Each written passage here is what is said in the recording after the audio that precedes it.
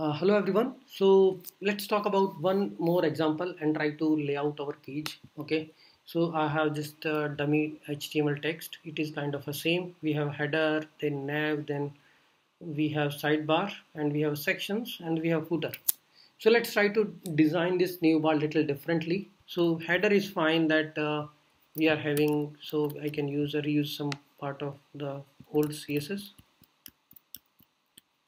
Okay I'm just reusing what we had earlier so that should be clear. So this is my header. Now I can just style this uh, UL li little different way.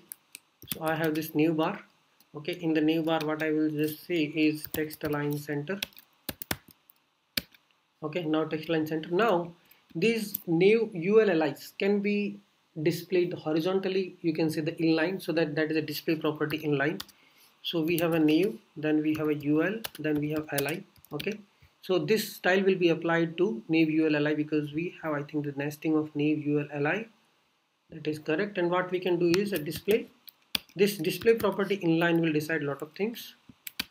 Like now my uh, uh, properties inline right? And what I can do is display list style type also there.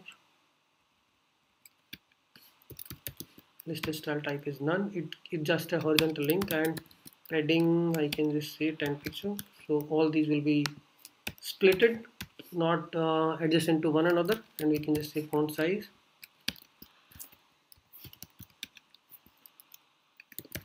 And you can also use font weight which can be bold okay now we have this nice looking you can say the links right? Here I will just reduce the text of heading. We don't want that much header and here we have the 15 pixel background. Yeah. Now we just uh, initialize this particular nav ULLI now you can just create these sections. Now what we have is after nav we have article section.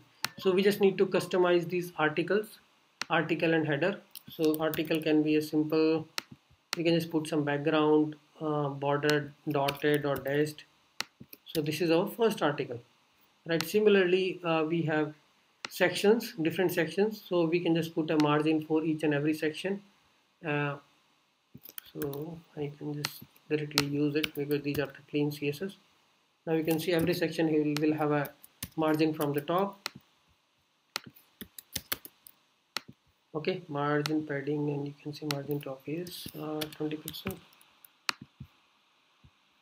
so every section will be splitted and these are the bordered so just a basic layout now what we had is just a header some kind of a, you can use an image on the header which can be a background image. So here we are saying a header right? So you can also use a background URL background image where you can specify the URL of the image okay? Uh, we'll try to find some image then background uh, image position center.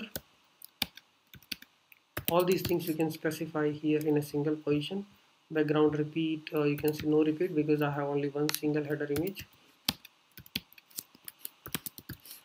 Background size which will be cover everything. I mean it should cover the whole uh, background. Okay now we can look for some background image. Let me just take a look. So we can use that image here. And we can just uh, attach that image. So we can just uh, find any uh, URL of the image. Let me just try to find it out. So that image we can just display out here. So this is how you can just put a background overlay image okay on your website. Like if I wanted to use some blog image. Okay. You see now it's look cool now you have a header with the background image position center no repeat background size cover and all these things. And now you can just remove the heading because now the text is not required the image is talking uh, 100 words right? Now you can also put a minimum height for this particular header because now we have this thing 300 pixel. This look cool now cool now right? So this is how you can customize your layouts and you can add a number of stylings okay Thanks everyone.